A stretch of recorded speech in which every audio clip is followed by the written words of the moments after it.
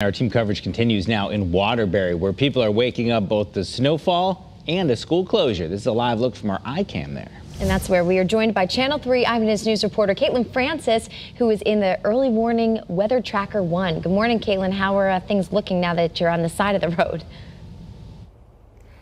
Yeah, hey, good morning, guys. So we are outside of the weather tracker this morning. We parked in the DPW parking lot here in Waterbury, and I want you to take a look just by my feet because there's already about two inches of snow that have fallen on the ground.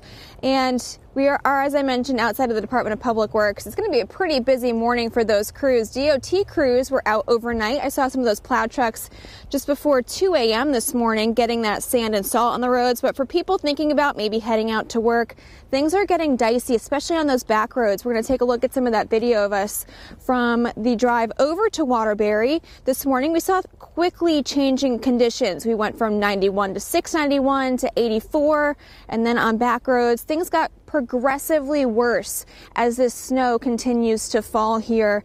That could also mean those school delays and cancellations for the kids. Not much. One to three inches is just a little bit of snow.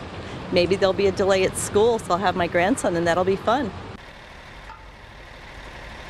Yep, she is going to have her grandson because school here in Waterbury is canceled because of the snow today.